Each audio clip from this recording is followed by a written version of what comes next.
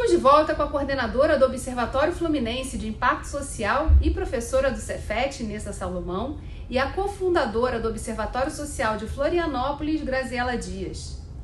Inesa, no bloco anterior, a Graziela falava dos desafios da construção e do, da atuação permanente no observatório para cada dado que é colocado nesse banco de informações seja, se mantenha atual ao longo do tempo. Como é que está sendo o processo desde o iníciozinho ali, né? É, o ITS venceu o edital. Como, como que está se desdobrando esse projeto? Quais são os tempos e movimentos que estão previstos aí para os próximos dois anos? Olha, é um processo de transferência de tecnologia muito bacana. Acho que essa, essa parceria com, com a UDESC, essa, com o BISP, né, com o Observatório Serva Floripa, muito importante para a gente estar tá aprendendo com eles nesse processo formativo. Então, a gente tem os bolsistas, como a Grazi já mencionou, a gente está trabalhando com com números de bolsistas selecionados, buscando mais bolsistas, mais recursos para aumentar o número de pessoas. E essas pessoas, assim como algumas pessoas que são parceiros do Rio de Impacto, foram convidadas para participar de uma formação. Essa é uma formação de cocriação, onde a gente começa com os conceitos e depois a gente veio desenvolvendo os instrumentos de coleta de informação que vão gerar esse banco de dados. Então, a gente começou já, já testou, Vai começar realmente o mapeamento agora em agosto. Então, a gente já está é, no dia a dia trabalhando isso para colocar na plataforma. E a plataforma é mais uma outra, mais um outro passo, né? A gente vai ter que construir, vai, vai programar essa plataforma bastante parecido com o que a gente vê lá no, no Observatório de Florianópolis, porque é a nossa inspiração, e com novos insights a partir do que a gente já está vendo no campo, no dia a dia, fazendo esse levantamento.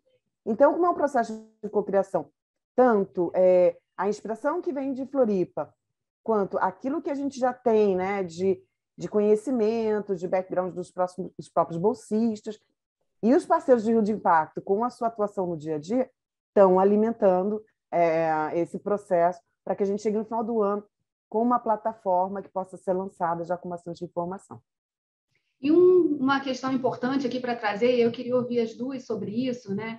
é que existe também um movimento de criação de um observatório nacional, que torne possível a gente é, não só gerar informação e relação entre as instituições que estão no território, próximas, no mesmo estado, no mesmo, na mesma cidade, mas também é, com outro, em outros lugares do país. Queria que vocês falassem um pouquinho sobre esse trabalho e o relacionamento de vocês com o ICE que é uma instituição que está sediada em São Paulo, mas que está na, tá na boca e, e, é parte também né, de várias construções que são referência dentro dos negócios de impacto socioambiental. Então, o Instituto de Cidadania Empresarial de São Paulo, ele fomenta os negócios e as finanças de impacto né, no Brasil, e a partir do, do projeto do Observatório de Inovação Social de Florianópolis, o ICE nos convidou, a professora Carolina Dion, que é a coordenadora atual do observatório, e eu, que fui coordenadora até ano passado, é, junto com ela, né, é, nos convidou para coordenar um projeto nacional uh, sobre inovação social nas cidades, né, com foco específico nos negócios de impacto.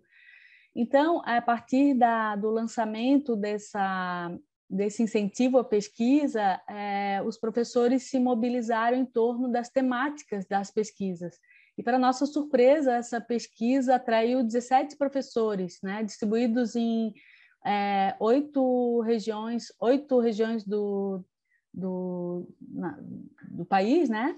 E estamos aí trabalhando é, toda a base, primeiro teórica, agora já estamos no, finalizando os instrumentos de coleta de dados, porque nós entendemos que esse instrumento tem que ser co-criado, ele não pode simplesmente ser, copiar um projeto que já existe, porque é, aí a gente precisa congregar diferentes interesses, né?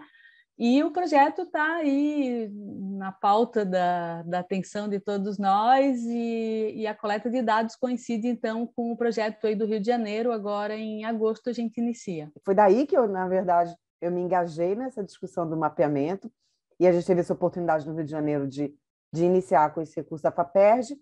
O projeto que a professora Graziela está mencionando tem apoio do CNPq, né, e tem vários professores de diversas instituições do país, sejam as universidades públicas ou privadas estão envolvidas, e a gente está envolvido também nessa discussão, né? A gente está se encontrando é, mensalmente para fazer essa discussão. Mas além a gente vai fazer então isso em paralelo, na verdade, assim como no Rio de Janeiro, mas a gente está fazendo para o estado, em outras cidades do país isso vai estar acontecendo simultaneamente. E, e por fim, assim, também acho que é importante a gente ressaltar que é, essa relação, a gente falou do ICE, da Academia ICE, também está relacionado muito com, com a ideia do Impacto, né, da Estratégia de, Nacional de Impacto, que tem uma vertente acadêmica e que a gente se interessa e a gente também tem um fluxo de trocas bastante, é, bastante interessante e que já vem de algum tempo. É, é, na verdade, né, quando a gente conta a história aqui do observatório que está se formando, é também uma oportunidade de falar dos negócios de impacto socioambiental e do contexto na, mundial desse tema, né, que tem mobilizado é, governos, é, sociedade civil organizada, universidades, para poder pensar negócios que possam unir essa questão socioambiental, é, os desafios né, de responder, principalmente passando por um, por um momento de pandemia que a gente passou nos últimos dois anos, é, que começaram também a potencializar e demonstrar a importância do tema, né, da gente mergulhar nessa agenda é, desafiadora dos 17 Objetivos do Desenvolvimento Sustentável da ONU, mas também puxando por esse viés da economia, né, que é muito importante para poder desenvolver é, a, a, sociedade e garantir aí que a natureza possa continuar é, nos, nos, fornecendo os insumos é, para que, a gente possa sobreviver e entregar um mundo melhor para os nossos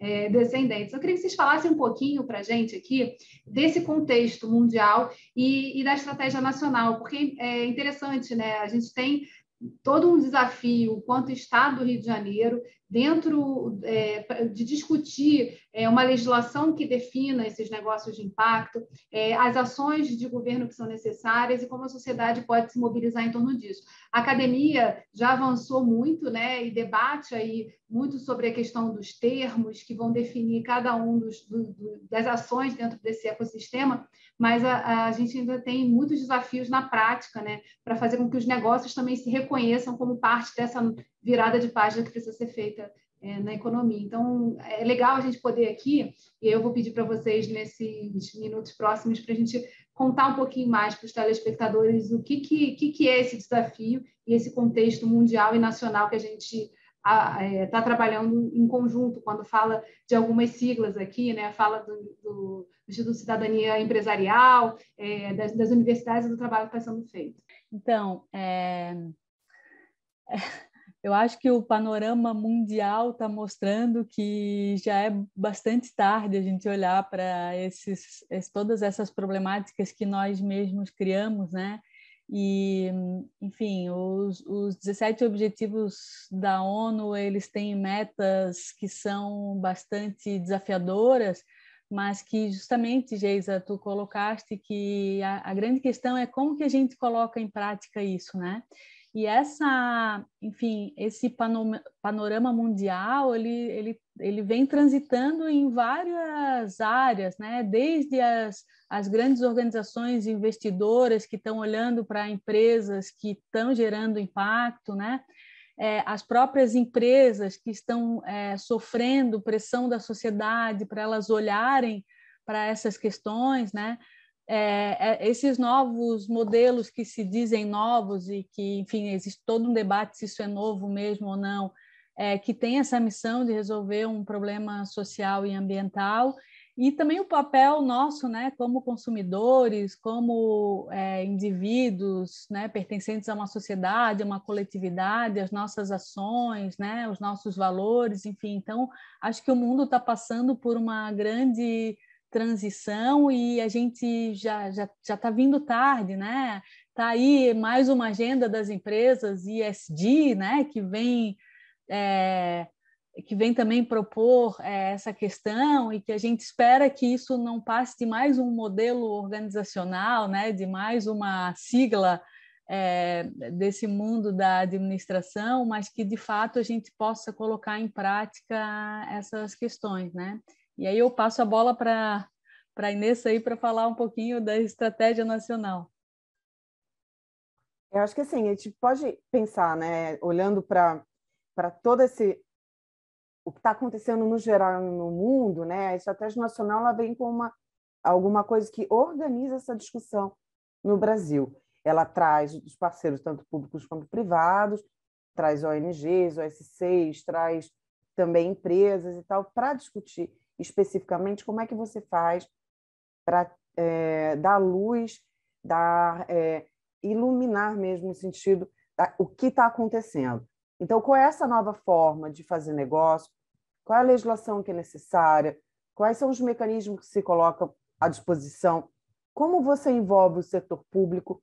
Qual é a responsabilidade do setor privado? Não pensando só, repetir o que eu já falei antes, não pensando só em responsabilidade social, mas pensando nessa missão de uma nova forma de fazer negócio e coloca esses atores para conversar. Eu acho que é isso que é o mais interessante da estratégia nacional, que vale a pena estar tá olhando, né? Tem vários mecanismos juntos, tem legislação que foi para é, discussão e audiência pública no ano passado, tem um monte de coisa boa acontecendo, mas eu acho que o mais interessante é isso: a gente ter essa possibilidade de ter uma discussão com os diversos setores da sociedade e trazer isso para um conjunto que vai gerar um apoio, um desenvolvimento que vai impactar economicamente e impactar positivamente o ambiente e a sociedade como um todo. Então, a estratégia ela vai nesse sentido. É, eu acho que a gente tem que lembrar né, que, quando a gente fala não é só mais um modelo organizacional, é entender que existe uma, uma nova maneira que a gente tem que discutir de fazer negócio mesmo, porque a maneira atual, infelizmente, chegou no seu limite e está mostrando que os impactos negativos eles acabam sendo cobrados, seja do ponto de vista da natureza, seja do ponto de vista do que acontece na sociedade como um todo. A gente vai fazer um rápido intervalo e voltamos já. Rio em Foco aqui, política e economia caminham juntas.